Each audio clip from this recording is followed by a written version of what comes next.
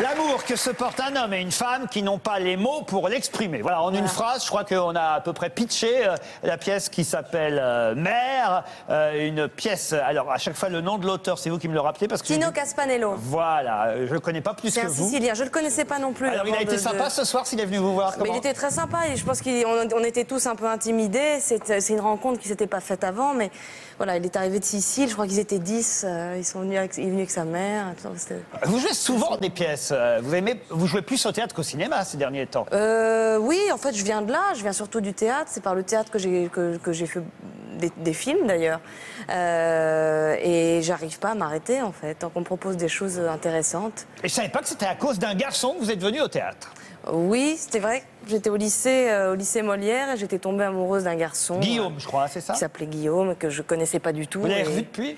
Je l'ai croisé, ouais. Pour le remer- Vous l'avez remercié physiquement pour... non, non, non, non, non, non, je l'intéressais pas du tout. Oui, c'est ça. Manifestement, c'était un échec. La, seule, la seule réussite, c'est que vous vous avez emmené au théâtre. Enfin, vous avez fait du théâtre à cause de lui ou grâce à lui. Oui, c'était un truc de midinette. Je, je savais qu'il s'était inscrit et je Au me suis club de théâtre inscrite. Mais j'ai rencontré un professeur surtout qui a, qui a été une révéla- qui, qui m'a voilà, qui a été une révélation pour moi et quelqu'un d'important dans mon parcours et qui m'a qui m'a encouragé à faire ce métier.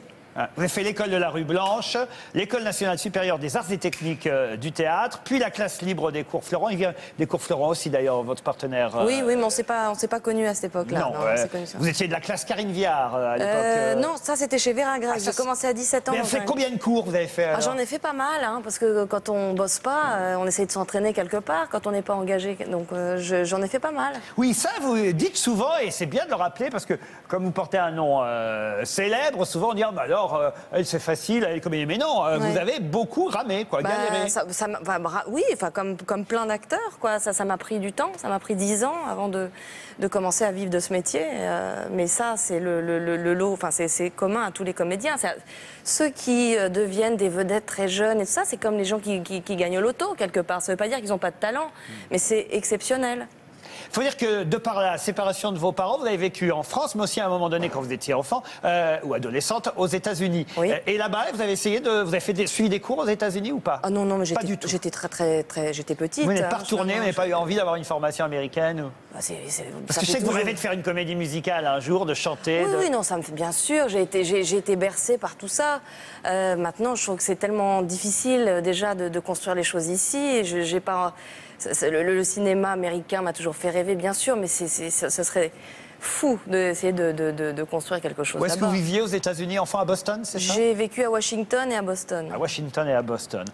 C'est Édouard Baird à la radio qui Oui. vous a fait travailler d'abord et vous êtes resté ami euh, avec lui. Oui. Voilà pourquoi on vous retrouve d'ailleurs dans, dans, dans ces pièces très réussies et qui sont des, des- des gros succès. Il y a un projet encore avec lui, avec Baird? Ah, j'espère. Et pour l'instant, il n'y a rien de, qui existe, mais j'espère qu'il y en aura. Mais vous étiez avec lui sur Radio Nova dans la grosse boule. Mais en fait, Édouard m'a dépanné. Enfin, en fait, j'avais croisé Édouard à l'époque où il était chez Florent, j'étais à la rue Blanche, et, un, au à un moment où j'étais au chômage, je lui ai demandé si- s'il pouvait, euh, s'il avait euh, du travail pour moi. Il était à la radio, il m'a dit bah, passe nous voir, il m'a donné un téléphone portable, et je suis allée dans la rue, et c'était les débuts du portable. hein. Pas, il fallait que je, fasse intervenir des gens de la rue avec eux, donc je, je faisais un truc qui s'appelait la Tati Mobile. J'ai fait ça pendant assez longtemps. La télévision vous intéresse moins que l'expérience l'autre jour, par exemple, de jouer une pièce avant les Molières. C'est facile, ça? Euh, c'est pas facile, mais ça reste dans mon cadre euh, de, de ce que je, sais ou j'essaye de faire. Euh, la télévision, euh, votre métier, c'est, enfin ouais, voilà, ce que vous faites, c'est un métier. Je serais pas incapable de le faire. Zemmour, euh, Nolo, je ne sais pas si vous avez déjà vu Léa Drucker euh, Ah bah, au sur Molière. scène. Oui, en Molière. Au, au Molière. Non, mais c'était une performance mémorable. Vous dites c'est dans mon cadre, mais là, vous, c'était un personnage chargé, quoi. Oui, c'était un- Une sorte de, d'auteur, euh, metteuse en scène. euh, Mégalo. un peu millésimée années 70, quoi, très, très Oui, militante. euh, Voilà, non, ça c'était bien. Non, mais moi j'irai voir parce que j'ai beaucoup d'admiration euh, et pour vous et pour euh, Gilles Cohen, que j'ai jamais vu sur scène, mais qui est un acteur au cinéma Il formidable. est formidable. Ouais. Il est formidable parce qu'il a une. C'est un, un acteur assez rare qui a cette espèce de force comme ça, physique, et en même temps une grande sensibilité. Et, euh, c'est un, c'est un, comment dire, c'est quelqu'un de très profond, et je pense que c'est pour ça qu'il plaît comme comédien quand on le voit, qu'on le, on le remarque dans les films. Moi, j'étais très contente de pouvoir travailler avec lui. Mais c'est c'est pas mal que ça tombe maintenant pour lui parce que les dernières fois, les trois, quatre derniers films que j'ai vus, on avait tendance à le cantonner un peu dans les personnages inquiétants, les personnages très, Oui, très oui. négatifs. Et c'est bien qu'il voilà, Oui, oui, montre là, c'est là, très rom- là, c'est beaucoup plus romantique. et- Il la tue à la fin, hein, quand même. Oui, quand même. ah bon, il peut pas Non, non, s'empêcher. non, non, non. Il peut pas s'empêcher. romantique. Il la pousse dans l'eau à la fin.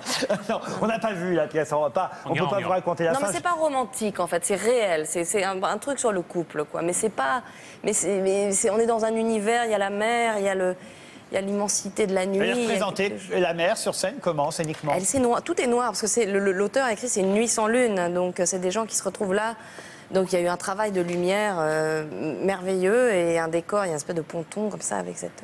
C'est un décor, en fait c'est une espèce de un lino noir en fait qui qui, qui- qui rend l'illusion de la mer. C'est ça qui est génial au théâtre, c'est qu'on peut faire plein de choses avec avec peu de moyens parfois. C'est vrai que vous êtes devenu hypochondriaque à cause du théâtre?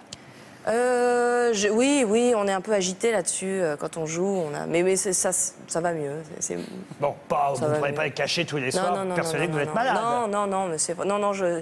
Il y a, il y a eu un moment un petit peu euh, monastique à chaque fois que je faisais du théâtre, c'est-à-dire j'avais l'impression qu'il fallait euh, se coucher tôt, euh, plus vivre, euh, boire de l'eau et manger des graines. Et en fait, je me suis rendu compte que c'était barbant et qu'on devenait inexistant au bout d'un moment à force de, de- de- trop d'hygiène tue un peu la je crois euh, le- le plaisir et le. Et la bon, il faut un peu de folie pour Un faire peu de folie, prendre hein. un, un peu de risque. De la folie, vous en prenez aussi dans les rôles que vous jouez parce que euh, vous, vous aimez composer des personnes. Au cinéma particulièrement, Oui. vous avez vu dans des rôles vraiment euh, parfois méconnaissables. Même. Je pense aux Brigades du Tigre euh, ou même le film sur, avec Coluche, Xavier, François-Xavier Oui, oui. de Maison. Vous aimez vous transformer. Ah, j'adore le déguisement, ouais. J'adore me mettre des perruques sur la tête et des. Et, et parce que ça me permet. Probablement, ça me permet de, de- de me sortir un peu de ce que je suis. euh, Je, suis quelqu'un de sociable, assez timide quand même, donc je suis pas. Pas forcément, j'aime pas forcément parler de moi, donc ça m'intéresse plus. le, déguisement, euh, ça me permet plus d'outrance et de, et puis c'est jubilatoire parce que les gens vous reconnaissent pas parfois. Alors, vous dites justement quand on vous pose des questions et qu'on vous demande de parler de vous, on vous parle toujours de votre famille paternelle, les Drucker, et jamais de votre famille maternelle, ce qui est injuste. Or, votre côté artiste vient plutôt de- du côté de votre maman, au fond. Oui, ma mère. Bon, ma mère est prof, mais ma- ma- elle est prof et en même temps, elle a ouvert une galerie d'art dans sa maison. Elle, elle vit près d'Avranches. Enfin, c'est quelqu'un qui a toujours eu des, des antennes sur tous les, les- les métiers artistiques. Mon La est- fantaisiste, c'était elle, quoi. Oui, oui, oui, ma mère est très fantaisiste. Mon grand-père était, mon arrière-grand-père était peintre, mon arrière-grand-mère était poète. Côté maternel, toujours. côté de ma mère, oui. Bon. Et ma grand-mère pianiste et, et chante. Étaient, c'était des, c'est des artistes de ce côté-là. Alors, comme on n'a pas vu encore Mère, je terminerai par une question très importante. Ah. Comment va Loulou? Alors, Loulou est en loge. Ah, bah voilà. Loulou, il n'est pas couché. Vous savez qui c'est, Loulou? C'est le chien, enfin, voyons, le chien qu'elle a adopté. Oh, on- Ah, c'est essentiel. elle a quand même un côté Drucker, vous voyez. Ah, bah oui, c'est Oui, ça. c'est vrai. En tout cas, allez l'applaudir car c'est une excellente comédienne au théâtre de l'Atelier dans Mer, aux côtés de Gilles Cohen. Merci Léa Drucker.